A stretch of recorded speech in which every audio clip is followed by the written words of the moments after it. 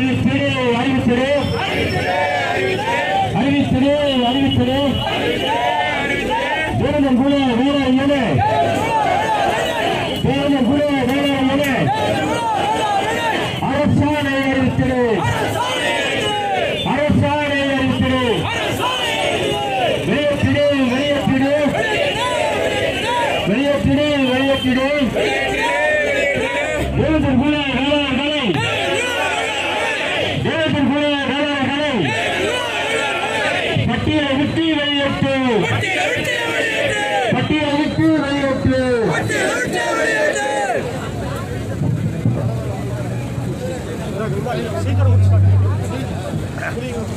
இங்கே கூடியிருக்கக்கூடிய பத்திரிகையாளர்களாக இருந்தாலும் சரி அரசு உயர் அதிகாரிகளாக இருந்தாலும் சரி இங்கே திரண்டிருக்கக்கூடிய கூட்டம் நாங்கள் வைத்திருக்கக்கூடிய கோரிக்கையை அரசிற்கு கவனத்திற்கு கொண்டு வருவதற்காக கூட்டப்பட்ட இந்த கூட்டம் ஒரே வாரத்திலே நாங்கள் தொலைபேசியின் வாயிலாக சொல்லி கூட்டப்பட்ட கூட்டம். அடுத்த முறை நாங்கள் களப்பணியாற்றி இன்னும் பல்லாயிரக்கணக்கானரை இங்கே திரட்டுவோம். இந்த திரட்டுவதன் மூலம் இன்னும் மிகப்பெரிய வலிமையை இங்கே ஏற்படுத்துவோம். ஒரே ஒரு எச்சரிக்கை கோவை மாநகராட்சியை சுற்றி தேவேந்திரோட மக்கள் தான் அதிகப்படியாக வாழ்கிறார்கள் என்பதை இந்த அரசு கவனத்தில் எடுத்துக் கொள்ள வேண்டும். பூசாரி மாநிலம் தெலுங்கு மாநிலம் சொக்கமதூர் பல்லபாளையம் கல்லுமலை சிங்கநல்லூர் உப்பிளைபாளையம். இப்படி நம்பியாளன் பாளையம் காரிநாயகல் பெண்கள் கணபதி. இப்படி காண்படலாம் சமூக சுயமரியாதையை எங்கள் வெற்றி என்று இளைஞர்கள் முதல் குழந்தைகள் வரை தாய்மார்கள் எல்லாம் பெருந்திரளாக இருந்து இந்த வெற்றி கோரிக்கைக்காக தமிழகம் மட்டுமல்ல உலகத்தில் எங்கும் வாழ்கின்ற அத்தனை பேரந்திர வேளாளர் மக்களையும் கையேந்திருக்கின்ற இந்த தமிழக அரசும் மத்திய அரசும் எங்களை இந்த ஒரு சூழ்நிலையை உருவாக்கினால் நீங்கள் ஓட்டுக்கு கையேந்த வேண்டிய சூழ்நிலைகள் வரும். இந்த முறை முதலமைச்சர்களும் எத்தனையோ மனுக்கள் கொடுத்தோம். இந்த மனுவை கண்கொடுப்பாக அன்சராஜா குழு என்பது கண்துடைப்பா இல்லை உண்மையை உரைக்க சொல்லும் குழுவா என்பதை உடனடியாக சொல்ல வேண்டும். மறைந்த திமுக முதல்வர் கருணாநிதி அவர்கள் தன் ஆட்சியின் கடைசி காலகட்டத்திலே ஜனார்த்தன் ரெட்டி தலைமையில் ஒரு குழுவை அமைத்து உங்கள் கோரிக்கை எல்லாம் உடனடியாக செயலாளர்களை கட்சியின் சார்பாக ஏற்றுள்ளீர்கள் என்று அதற்கு ஆரம்ப கட்சியை தேவைகள் என்று கூறினார். அந்த சமயத்தில் கூட அந்த நடுவராக கூறுகின்ற பெரியவர்களும் கழகத்தை ஈடுகட்டுவதற்காக நமது எம்எல்ஏ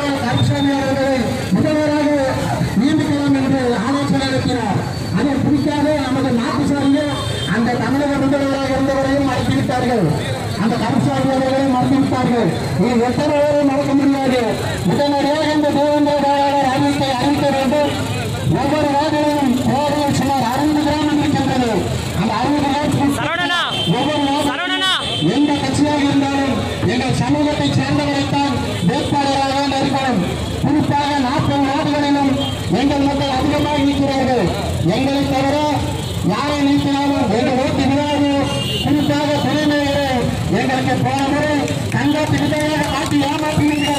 இந்த முறை துணைமையரை பொறுப்பாக வேண்டும்.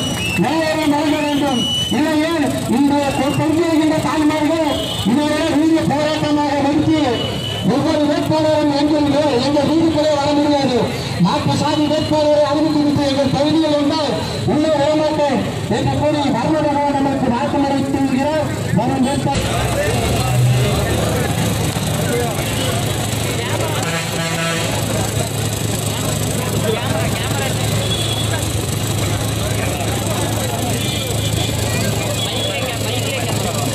போன்ல தான் இருக்கு நான் அப்படியே கொடையை தள்ளுங்கண்ணா.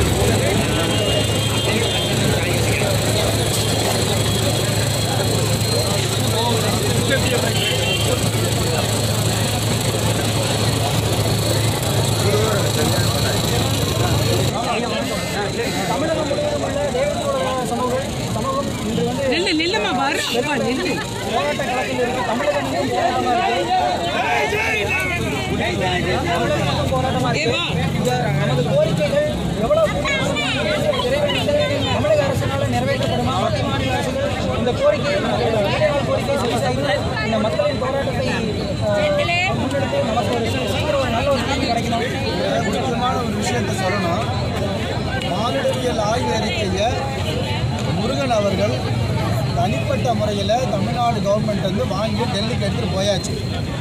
ஒரே ஒரு விஷயம் கவரிங் லெட்டர் மட்டும்தான் பெண்டிங் இந்த கவரிங் லெட்டரை மத்திய அரசுகிட்ட இருந்து நாம் அழுத்தம் கொடுத்து இதை வாங்க போகிறோம் அதனால் இந்த கோரிக்கை நிறைவேறுவது என்பது உடனடியாக நடைமுறையில் ரெண்டு மூணு மாதத்துக்கான அதற்கான தீவிரமான ஏற்பாட்டை நான் கவனித்து கொண்டிருக்கிறேன்.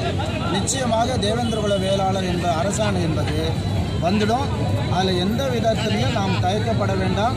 ஏன் என்று சொன்னால் ஆஹ், உயர் திரு நரேந்திர மோடி அவர்களிடம் கடந்த பத்து நாட்களுக்கு முன்னாடி இது சம்பந்தமாக நேரடியாக பேசப்பட்டிருக்கிறது. உயர் திரு உள்துறை அமைச்சரிடம் இது சம்பந்தமாக நேரடியாக பேசப்பட்டிருக்கிறது. ஆகவே இந்த தகவல் எல்லாரும் அவர்கள் தெரிந்து கொண்டார்கள். ஆகவே அரசு துறை ரீதியான நடவடிக்கைகளை மத்திய அரசுக்கு நேரடியாக இருந்து இதற்கான பணியை செய்ய இருக்கிறது இதற்கான இனிமேல் காலம் தாழ்த்துவது தமிழ்நாடு அரசு கவரிங் லெட்டர் இந்த கேள்வியை கேட்க முடியாது. தனிப்பட்ட ரீதியாக கேட்டபொழுது அதற்கு எந்தவித பதிலும் அவர் சொல்லலை. அது மட்டுமல்ல ரெண்டு மாதத்தில் அறிக்கை கொடுத்துருவீங்களான்னு கேட்டதுக்கும் அவர் அதற்கான பதில் சொல்ல ஆறு மாதத்தில் அறிக்கை கொடுத்துருவாங்க அதற்கான பதில் சொல்லலை. ஆர்டிக்கல் முன்னூற்றி நாற்பத்தி மூணு சட்ட விதியின்படி இந்த மாதிரி குழு அமைக்கணும்னு அந்த சட்ட விதி சொல்லலை. ஆகவே தமிழ்நாடு அரசு முடிந்த ஒரு விஷயத்தை அதுவாக தொடங்குறதுக்கு என்ற அமைச்சர் தங்கமணி அவர்களிடம் நேரடியாக பேசிய பொழுது நாங்கள் குழு அமைத்து அந்த குழு மூலமாக இதை நாங்கள் பரிசு பரிந்துரை செய்ய விரும்புகிறோம் என்பதை என்னிடம் நேரடியாக அவர் தெரிவித்தார். அமைச்சர் அவர்கள் தெரிவித்தார். ஆனால் இது தேர்தலுக்கு முன்னாடி அவர் தெரிவித்தார். குழு அமைக்கப்பட்டது பத்தாயிரம் மனுக்கள் வந்ததாக டெல்லியில் அவர் கடிப்பட அந்த கடிதத்தை அன்சராஜ் கொடுத்திருக்காரு. பத்தாயிரம் மனுக்கள் வந்ததை தமிழ்நாடு அரசு இதுவரை பரிசீலனை செய்யாமல் வெறுமனை வைத்திருப்பது என்பது கூட ஒரு விதத்தில் இந்த சமூகத்தை புறக்கணிக்கிற மனநிலையில் எடப்பாடி இருக்கிறார் என்ற ஒரு எண்ண ஓட்டம் நமக்கு வரவே செய்யும் ஆனால் இதையெல்லாம் தகர்த்து தேவேந்திரகுல வேளாளர் அரசாணை பெறுகிற சக்தி இந்த சமூகத்துக்கு இன்னைக்கு இருக்கு. நிச்சயமாக தேவேந்திரகுல வேளாண் அரசாணை என்பது நாம் பெற்றே தீர்வோம். இதற்கெல்லாம் இனிமேல் காலதாமதப்படுத்த முடியாது. அதற்கான சூழல் நெருங்கி கொண்டிருக்கிறது. தமிழ்நாடு அரசு இதை புறந்தள்ளிவிட்டு வெறுமனே அமர்ந்திருந்து பார்க்கிற காலம் என்பது முடிந்து விட்டது என்பதுதான் இந்த நேரத்தில். ஆனால் எப்படி வரும்? எந்த மாதிரியான இது நடவடிக்கை எடுக்கப் போகிறோம் என்பதெல்லாம் நான் ஊடகத்தின் முன்னால் தெரிவிக்க முடியாது என்பதையும் சொல்லி நன்றியை தெரிவித்துக் கொள்கிறேன். நன்றி வணக்கம். ஐயா இப்போ பார்த்தீங்கன்னா தமிழகம் முழுக்க வந்து இத்தனை ஆண்டு காலமாக பார்த்தீங்கன்னா தலைவர்கள் முன்னிட்டு ஒருங்கிணைச்சு போராட்டம் பண்ணி காரணமாக பார்த்தீங்கன்னா ஒட்டுமொத்த மக்களும் தன்னெழுச்சியாக கட்சி இயக்கம் பாகுபாடு இன்னைக்கு போராட்ட களத்தில் குறிச்சிருக்காங்க அதை பற்றி நீங்கள் என்ன கடந்த எழுபது ஆண்டுகளாக இந்த சமூகத்தில் ஒரு முக்கியமான விஷயம் திருப்பம் என்று தான் நடந்து கொண்டிருக்கு. அது என்ன திருப்பம் என்று சொன்னால் எத்தனையோ கோரிக்கைகள் ரீதியாக போராட்டங்கள் நடத்திய இந்த சமூகம் ஒட்டுமொத்தமாக தமிழகம் முழுவதும் ஒரு கோரிக்கையின் அடிப்படையில் ஒருங்கிணைந்தது இந்த எழுபது ஆண்டுகள் இதுதான் முதல் தடவை.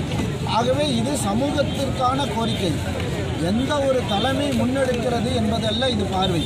இது சமூகத்திற்கான கோரிக்கை என்பதனால்தான் இது சமூகம் முன்னெடுத்துக் கொள்கிறது. இது எந்த எதிர்பார்ப்பு இல்லாமல் மக்கள் வந்து நிற்கிறார். இது உணர்வுபூர்வமான விஷயம்.